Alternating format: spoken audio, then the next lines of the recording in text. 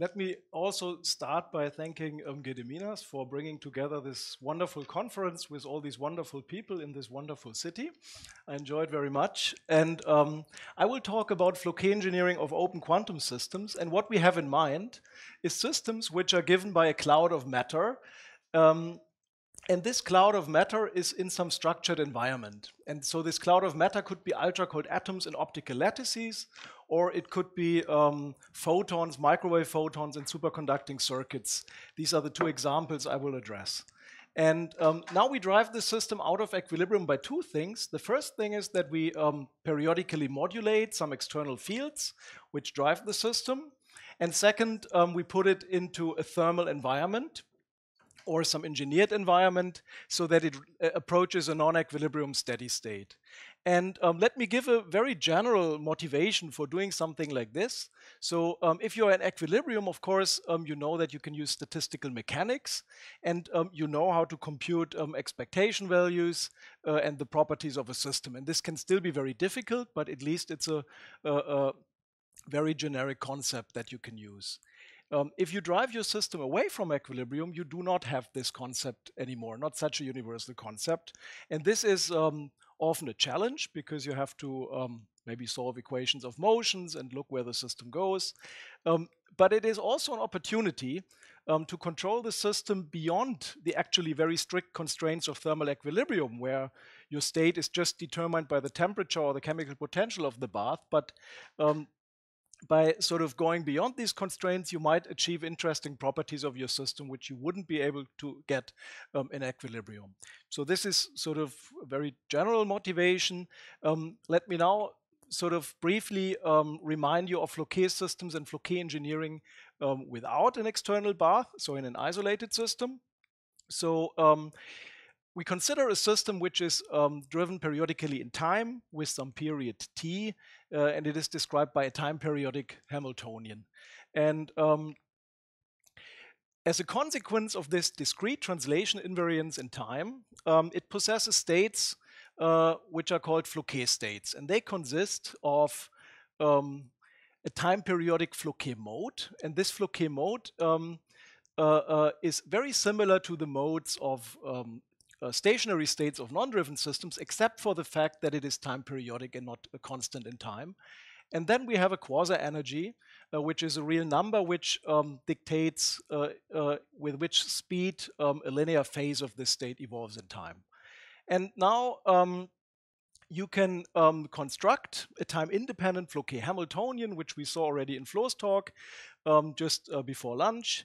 And um, this uh, time-dependent Floquet Hamiltonian is constructed such that it describes the time evolution of the system um, in stroboscopic steps of the driving amplitude. So if you just look at a driving period, if you just look at stroboscopically at the system at integer multiples of capital T, um, it will look as if the dynamics was generated by this time-independent um, Floquet Hamiltonian. And um, this now looks very promising so that you can say, now I can engineer my system and control just HF according to my needs by driving the system in a particular fashion. Um, but it's not quite that simple um, if we are in a many-body system. And um, the reason is um, the following. So if we um, have a look at these quasi-energies, um, we notice that different from energies, they are only determined up to integer multiples of h bar omega. So if we redefine it by adding an integer m of h bar omega, we can also redefine the Floquet mode. And this is again a perfectly legal decomposition of this state into a periodic part and a part described by a quasi-energy. And this means that quasi-energies are just determined up to integer multiples of h bar omega. And this describes something which we all ver know very well, namely resonant coupling and the possibility of resonant coupling, for instance. So if we have, let's say, two unperturbed states of an undriven system and we couple them uh, and we uh, switch on some time periodic perturbation which is resonant with the frequency resonant to this energy difference, these two states appear to be degenerate. So a tiny um, perturbation can already hybridize these states. And as a consequence, these Floquet states um, are uh, superpositions of states having very different energies. And these resonances, if we go to a many-body problem, are ubiquitous. And that means um, these many-body Floquet states are actually superpositions of states having very different energy. And as a consequence, um, they, uh, this Floquet Hamiltonian actually describes heating, unlike static Hamiltonians. And this is uh, something which has been discussed um, a lot in last years. One way of viewing this is also that you think about the Floquet system as undergoing eigenstate thermalization without energy conservation. This was pointed out by people like Roderich Moessner, uh, um, uh, uh, Achilleas Lazarides, and, and, and others. And um, now um, this looks very bad. However, you can still use these techniques to control the system, namely um, these resonant processes might happen on a very long time scale. And in this case, on shorter times, you might describe the evolution of the system with some effective Hamiltonian, um, which looks like a regular many-body Hamiltonian and not describing this sort of heating processes.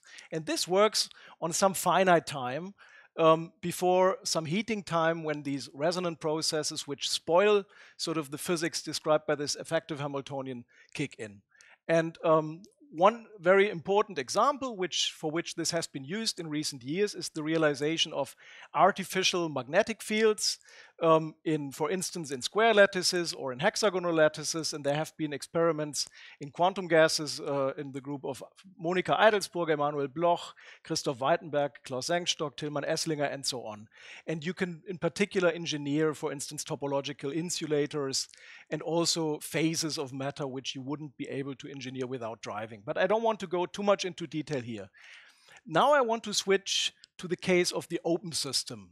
And let me just motivate why this is interesting. There's three reasons. The first reason is that in a experimental platform which you're working in, it might just be the experimental reality that you have an open system. Quantum gases can be, to a high degree, isolated from their environment, but it's not always possible in any platform. So this is sometimes just an experimental reality you have to deal with. Um, second, you see this heating here.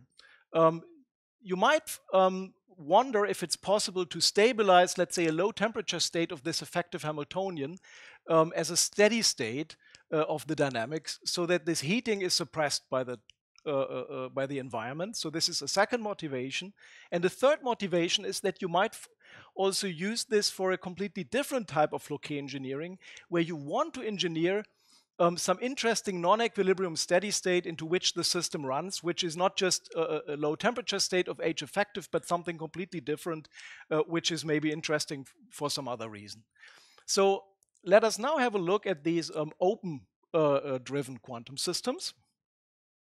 Um, and uh, they are described um, by um, time periodic Hamiltonian and uh, describing the system which is driven, which is coupled to some bath. And, and we will assume some uh, collection of harmonic oscillators, and where you have a coupling between system and bath.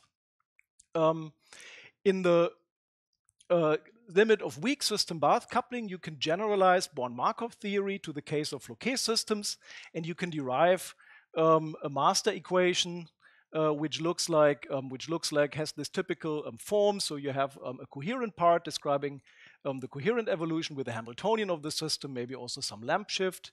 Um, and then you have a dissipator, which describes processes which um, are not just given by unitary evolution of the state, but, um, but dissipative processes. And now let us focus for simplicity, um, both for us, it's easier to calculate, and also conceptually for you, it's easier to present, um, to the limit of ultra-weak coupling so that the coupling to the bath is the smallest energy scale, even smaller than the level splitting in the system. This might be a really strong assumption and uh, it's not always given and you can also go beyond this, but let's assume it nevertheless. Um, then you, the system approaches a steady state, the form of which we know already. Um, it is diagonal with respect to the Floquet states, um, with some probabilities uh, uh, sort of weighting the different Floquet states. So it is time periodic, so it's a quasi-steady state in that sense. And why is this so? Of course, if this term here goes to zero, the state has to be an eigenstate of the first term. And this is the most general eigenstate, or no, sorry, not eigenstate, steady state of um, the first term with respect to the Hamiltonian. Um, now the dissipation is still um, important here because first of all, um, this is a mixed state with a finite entropy. So in order to reach this state, you need the dissipation. Second, um, these probabilities which appear here uh, have to be determined, and they are determined by dissipative processes. Namely, um, you will can derive a master equation um, for these probabilities and you find some golden rule type rates that describe processes for quantum jumps between state M and state N. Um, now, um, how do these steady states look like? Um, we have to look at the rates, and the rates um, have a specific structure. So they are a sum over processes where the bath energy change is inverse to the quasi energy change plus integer multiples of h bar omega. And this means that um, you can have the same transition between two Floquet states um, while going up in energy in the bath or going down in energy in the bath. So that means um, the notion of high energy or low energy is really lost in these Floquet systems, and this tells you that this is a non-equilibrium process. And as a result, these rates do not obey a condition like this, which equilibrium rates would fulfill with respect to the energy. So the, the ratio between one, the rate and its backward rate is not just given by such an exponential factor depending on the inverse temperature and the quasi-energy difference. And this is different um, from equilibrium processes. So if you have just an undriven system in weak contact with the bath, you have this. And as a result, you find um, that your steady state is just the Gibbs state, just depending via the temperature or the inverse temperature beta on the environment. And this state, if you plug it into this um, Pauli master equation, you see it solves this equation term by term. So every individual term vanishes. And that means these terms describe the net probability flux from a state M to a state N. And so the net probability flux between each individual um, eigenstate of the system vanishes. And this is what we know as detailed balance. And this is the equilibrium situation. Now, if we go away from equilibrium, um, this is not the case anymore. So these probability distributions depends on all the details of these rates, not just on the temperature. And you have a finite probability flux in the steady state. So it's this is why it's not an equilibrium state anymore, but a non-equilibrium steady state. So now, um, what can we do with this? Um, of course, this non-equilibrium steady state can be interesting if we engineer things right. So this offers a robust way of engineering a state. So it's like a um, dissipative Floquet engineering. Um, so the first example I want to discuss um, is work by um, uh, Francesco Petiziol, who is a postdoc uh, in Berlin with me. He's also here at the conference.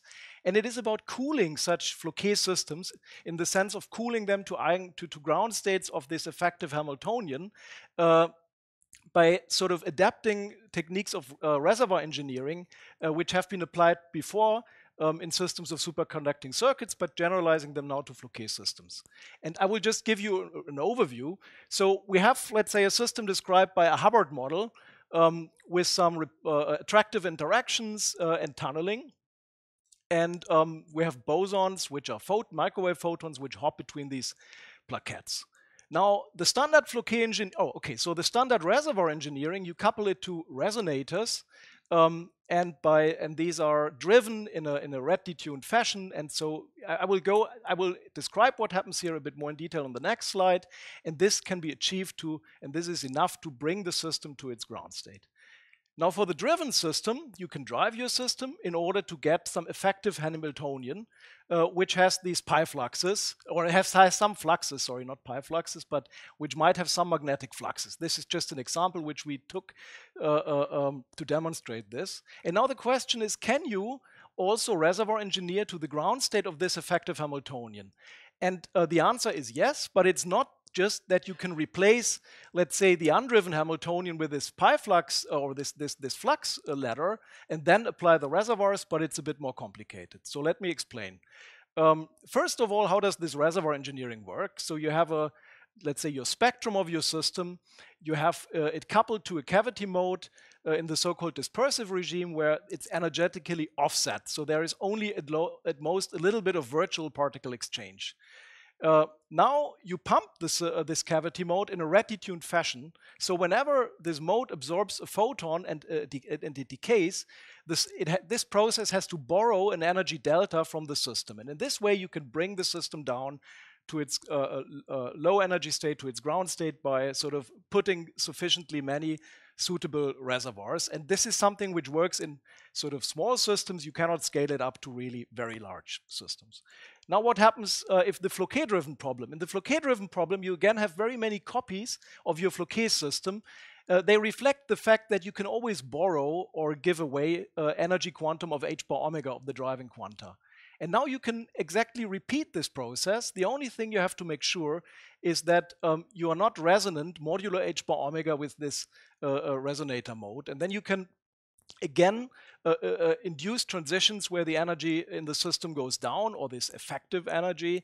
Um, however, they are now a sum of all these different pro uh, processes corresponding to different photon numbers which are given or taken away from the drive. And uh, this is something that works. So this is a system of eight um, qubits or eight uh, um, lattice sites, uh, and you can use um, three resonators to cool it to its ground state. Um, you can also do it here for um, a, smaller system, but with two hardcore bosons essentially, and it also works. And in principle, you can also already for rather tiny system sizes, let's say of five times five sites, you can find already precursors of tiny little baby fractional quantum Hall states. They work exactly in this regime where you have some effective hardcore interaction induced by this. Uh, uh, uh, uh if you operate this thing in the in the interaction limit where you can treat them as qubits, and so this is something that seems to be reasonable to stabilize with these type of methods it's not so easy for us to simulate. So this is why this is the largest system I show you. And now um, let me show you also a second example, um, which uh, will also be very brief, um, which is work by Alex Schnell. He's sort of the main, um, um, did the main work on this. Um, he's also here in the audience. He's a postdoc with me in Berlin as well, and uh, also on the project where Lingna, she's also was a postdoc with me, is now professor at Hainan University, and Alec and Artur Widera in Kaiserslautern. So for this, we consider now an ideal Bose gas. So this is 200 particles on about 50 sites in an optical lattice with hopping uh, constant J. And now we embed this system into a thermal bath given by a three-dimensional BEC. And we did really some microscopic theory to mimic this um, using a Bogoliubov approximation for the BEC and then doing all this Born-Markov theory to derive the master equation. And now this bath, it has a rather high temperature. It's 2.4 tunneling times. So since this is a 1D system, uh, it's finite still, but it's 1D, and the temperature is so high, there is no Bose condensation to be assumed of this system uh, uh, if you look at this. And so if you look at the time evolution starting from an infinite temperature state, um, you see that the system approaches a state where none of the modes, this is the occupation of the single particle eigenstates, acquires really a large uh, occupation. And the way we compute it is a method actually quite similar to the one we saw this morning uh, in the talk by uh, um, which uh, uh, here we apply to this um, to, to this type of system um, in equilibrium and then also now in, in, in non-equilibrium. Um, if you now sort of additionally to this um, hot bath, you start driving your system locally at one lattice site, uh, with a rather large amplitude, which is equal to j, and a frequency which just lies in the middle of the bandwidth of this, this 1D model. So it's 3 eighths of the bandwidth. So it's really resonantly driving, and it's something which would sort of heat the system up, actually. You would expect to heat it up. It's not in the high frequency regime, but uh, uh, where most of this Floquet engineering works. It's really in the regime where you would heat the system up. If you then look at the occupation numbers of the single particle Floquet states, you see that there is one Floquet state which acquires a lot of occupation. So you get something like a Bose condensate. It's a finite system, so it's a precursor of a Bose condensate, but you get a very strong signature um, induced by this drive. And so the question is, how can this be? I mean, you have sort of um, a hot environment, or not hot, but not really cold, you start driving in a way which should heat the system up, and still sort of this induces Bose condensation. And there is an intuitive explanation. So when you drive locally here, um, there are some eigenmodes which you don't drive, because these are the modes which have a node, sorry, which have a node um, which have a node uh, uh, exactly um, on the lattice side where you drive. So some of the modes really decouple from the drive. They are not driven. Um, and now you can look at the Floquet states of your system, and this is the overlap of the Floquet states, uh, of, of the eigenstates of the undriven model with the Floquet states. And you can clearly see there are these modes which have overlap uh, uh, uh, 1. So some of the Floquet states are actually the undriven eigenstates of the system, which are not driven. Now, um, these states have a property a little bit like scar, like quantum scars. Because if you look at the energy fluctuations of these modes, all the driven modes have rather broad energy uh, uh, uh spectrum because they're superpositions of many energies because you drive resonantly, but these are not because they are still the undriven um, eigenstates. And now you can you can sort of um, split your system up into the undriven scar-like modes and the driven modes.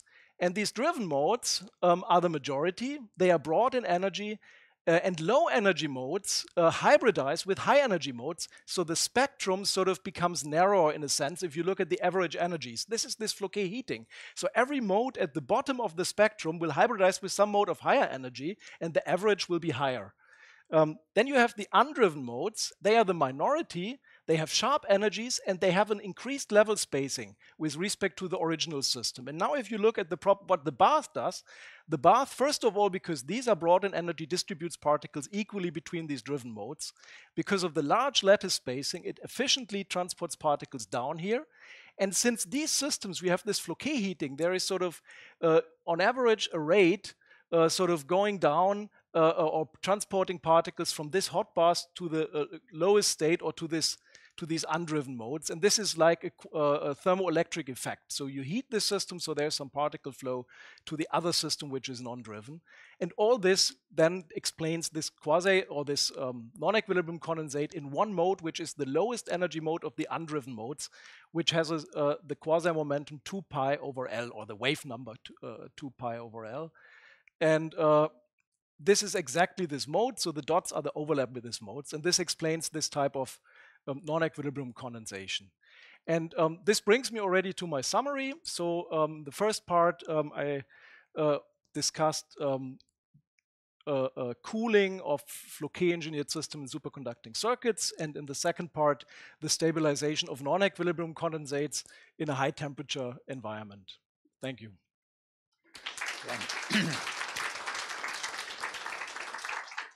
Thank you very much. We may have time for a question or perhaps even two.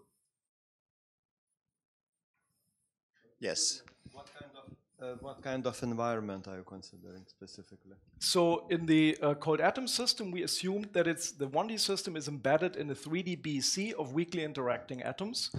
Uh, and we took parameters from Artur Widera's experiment and we treated it in Bogoliubov theory and then did the usual uh, Floquet-Born-Markov um, approximation. So it's a microscopically derived master equation for reasonable parameters. And in the other case, um, the bath was essentially given by these engineered reservoirs, which are leaky. Um, so it's an engineered bath given by these two or three reservoirs that we needed, uh, or not reservoirs, sorry, um, resonators uh, that are used uh, to cool the system.